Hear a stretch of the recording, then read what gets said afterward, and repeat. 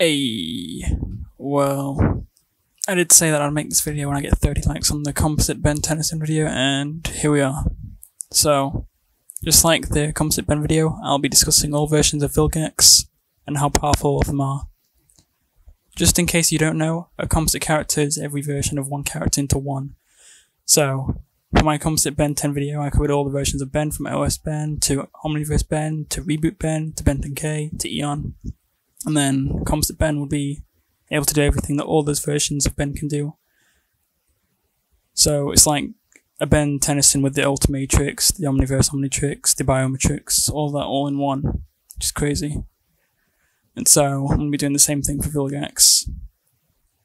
To prevent this video from being anywhere near as long as the composite Ben video, which was over an hour long, I'll be splitting this video into five parts. Each part will discuss all the Vilgaxes from each series. However, when I finish releasing all five parts, I'll make a, a video combining them all into one video.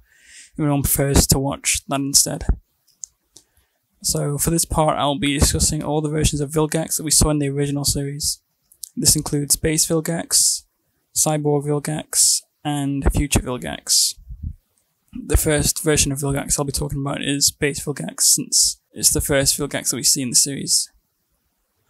Before I get started, I just want to say that I haven't made a video in as long as I would usually do because I was kind of lazy. I couldn't bother to make a video. And then I was going to work on a Ben 10 multiverse video, which explains the multiverse, but then I was like, no, I want to do top 10 characters in Ben 10, like power scaling wise. So not just including Ben's aliens, but like characters, so like Vizona, Malchuan, characters like that. But the script that I made was a mess, so I scrapped it, and I'm working on this instead. I will work on a Ben 10 multiverse video at some point, but I don't know what I'm going to do with the top 10 characters. I think I'm not going to go back to that. Or whatever. Back to the video. I'm talking about base Vilgax. So this version of Vilgax appeared in, and then there were 10. The Alliance, Truth, the start of Then There Was Ben, and The New Dawn. So I'll be talking about versions of Vilgax from Omniverse, but they it's the same version of Vilgax that we um, it's still base Vilgax. So the version of base Vilgax we see in the original series and in Omniverse should be capable of the same things. So let's start off with the Alliance. I'm not talking about and then there was ten because there isn't really anything crazy that happens in that episode. Scale Vilgax. But in the Alliance, we see that he's able to talk telepathically with Rojo through his drones after Rojo murdered them. And then he's also able to do the same thing for Ben when he was as upgrade and merged with Rojo. So I just wanted to bring this up. It's not really that useful of an ability. It's really specific, really situational like Vilgax only able to talk through his drones, it's not really gonna have much play. But I thought it was worth mentioning. And then in truth, Vilgax we see Vilgax with his drones. I think this is a good time to bring up Vilgax's drones. And they follow him around. And they use to either hack things or shoot lasers. And Vilgax uses these drones as like bodyguards, sort of. You can have like eight of them at once, like in Secrets. Though the problem with these drones, they're not very durable, as we saw a 10 year old Gwen was able to destroy one by smacking it with a shovel.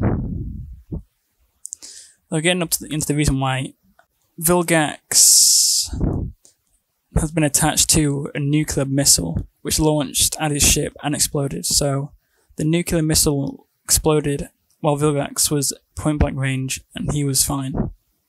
So that's pretty impressive. That's a durability feat right there.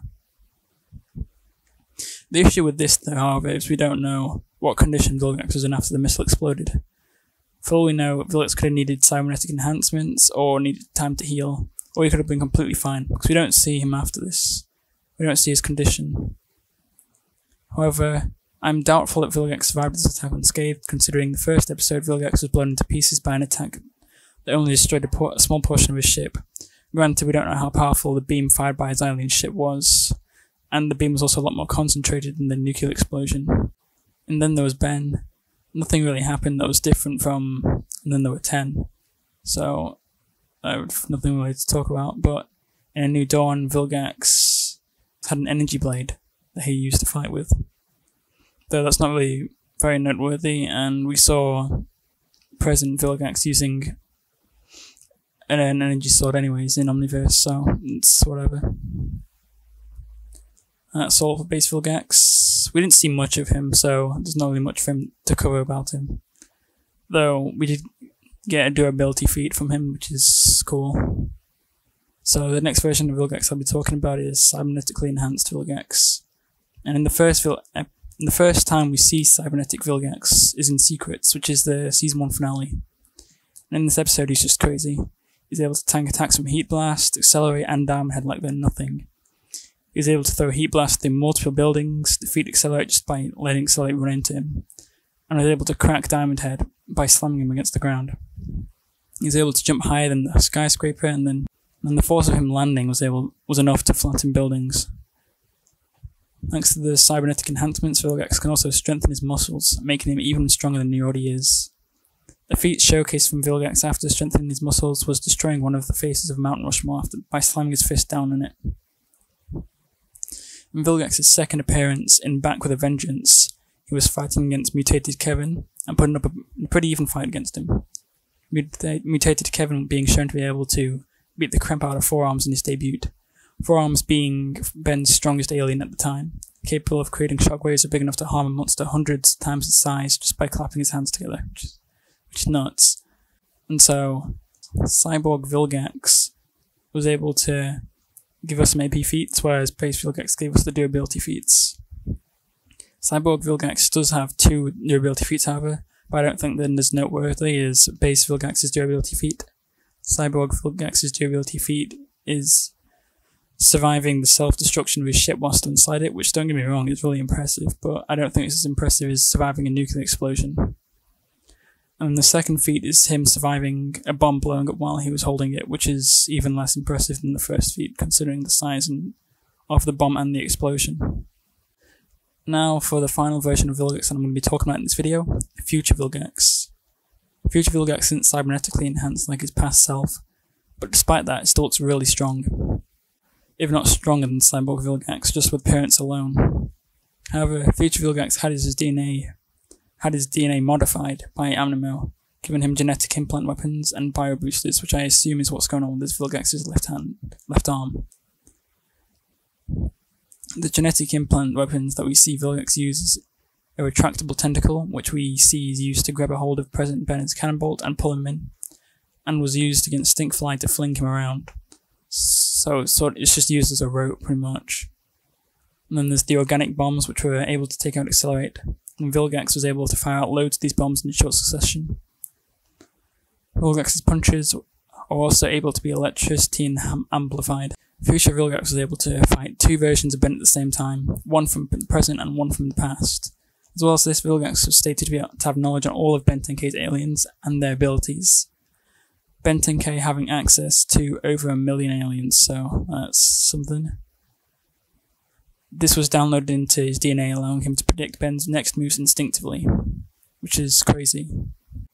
Though future Vilgax lost because he didn't expect Ben to turn into his human form as he hadn't done so for years. Unlike base form Vilgax, Future Vilgax didn't have any durability feats to offer, and he didn't have any AP feats to offer either. However, Future Vilgax has the abilities that are very noteworthy. So to summarise, in OS, the original series, Vilgax was shown to be able to survive nuclear explosions at point blank range, create a path of destruction, and fight against characters who can overpower Ben's strongest alien.